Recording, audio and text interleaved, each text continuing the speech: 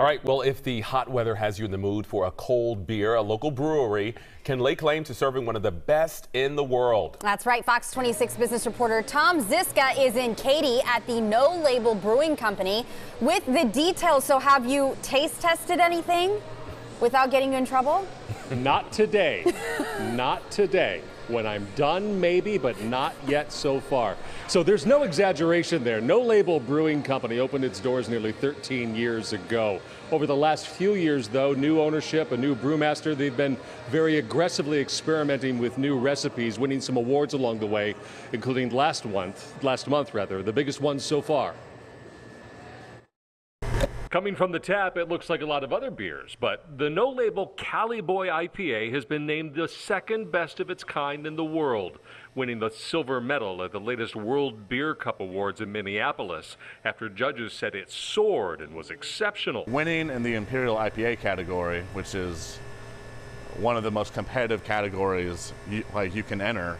Um, it's pretty wild. It's pretty outstanding. To appreciate the significance, the World Beer Cup considered more than 10,000 beers from nearly 2,500 breweries in 57 countries. Medaling is rare. It is difficult and a big deal for those who win. It invigorated everyone like on the team. It, it's just like it recharges the craft beer batteries, as it were.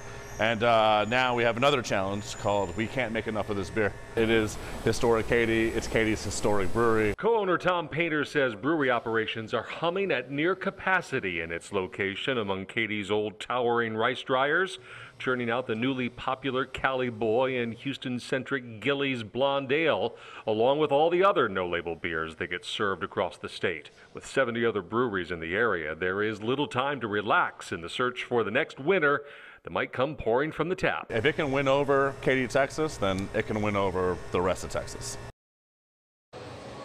And there you go. There's the line in the sand. In case you're wondering, the winning IPA comes from an Atlanta brewery, which is a bit of a drive, quite frankly, but why bother? Tom Painter says two other no label beers were very close to medaling. Overall, Texas brewers brought home 14 of those World Cup medals, including two other Houston brewers that specialize in sour beer, if that's your thing. Either way, there's a lot of choice very nearby. Watching your money, I'm Tom Zizka, Fox 26 News.